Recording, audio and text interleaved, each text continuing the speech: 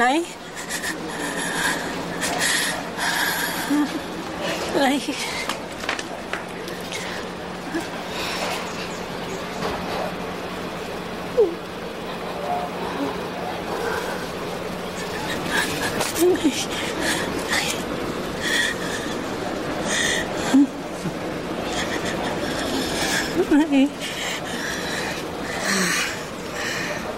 Ate Virgie?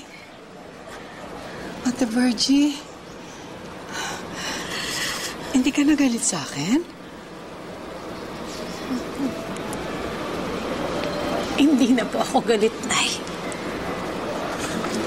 Hindi po ako galit.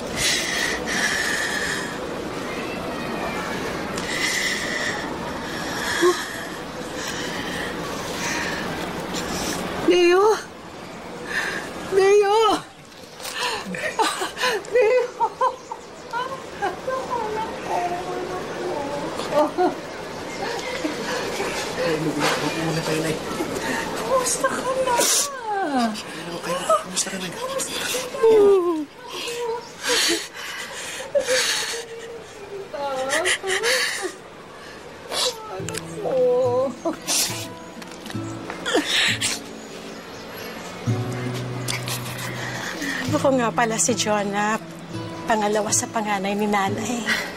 Ako naman si Josephine. Maraming salamat ha, nalagaan mo yung nanay namin. Walang ano man yun. Eh, nakita ko kasi sa kalsada, muntikan masagasaan.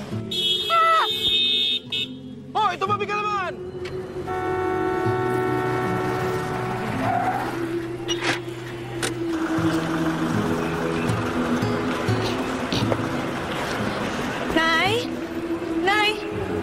Okay lang ho ba kayo, Nay? Ah? Okay lang kayo? Ah, ah, Ah, saan ba kayo pupunta? ah, ma'am! Po, po. Ma'am, Po? ah... Mapunta sana akong Tarlac. Pupunta ko yung nanay ko at tatay ko. Pero... Hindi ko mahanap yung bus na sasakyan ko eh. Ah, sige ho. Ah, sasamahin ko na lang ho kayo. Talaga? Alam niyo? Opo. Tulungan niyo ako. Opo, ali kayo. Naku, Sama kayo sa akin. Sige na po. eh, salamat. Oo. Salamat, salamat. Ang sabi niya, gusto daw niya umuwi sa nanay at tatay niya sa Tarlac.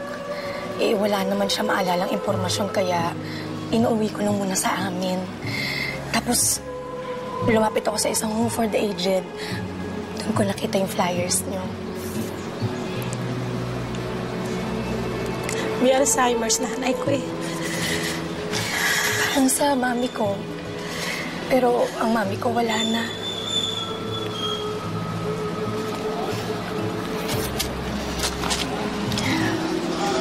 Mahirap ba? Sabi nila, pag naisip mo ang pagmamahal sa isang tao, dapat madali na lang yun eh. Pero syempre, ang pagmamahal may kasama ring hirap at sakripisyo.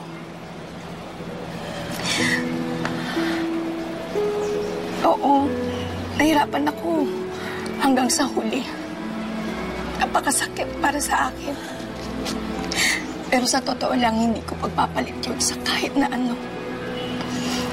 Sa mahabang panahon, hirap ako celebrate ng Pasko kasi namatay ang mami ko. Pero alam mo nung dumating si Nanay Nita sa amin, parang, parang ramdam ko bumalik ang mami ko sa akin para sabihin na huwag na ako malungkot. Dapat masaya na ako ulit pag magsa-celebrate ng Pasko. Alam niyo, napakaswerte niyo. Kasama niyo pa siya.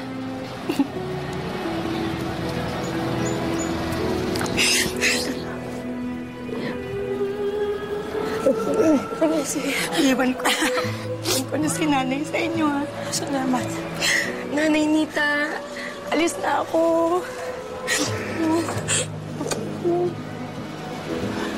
Ma'am. Maraming salamat. Ha, salamat inalagaan mo ko. Ha? Naku, salamat, salamat. Salamat, ha? Magkikita tayo uli. Opo.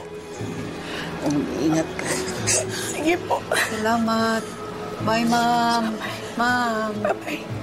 Ma'am. Salamat. Bye-bye, nanay.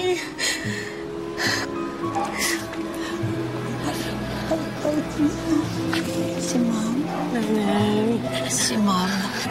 Ay, talaga sa akin. Nanay. Si Ate hindi ko nagalit sa akin. Nanay. Huwag ka na magalit sa akin. Opo. Si Teo, ang bait dito sa akin. Ano siya? Kasi ma'am. Kasi, naalagaan ko na ako ng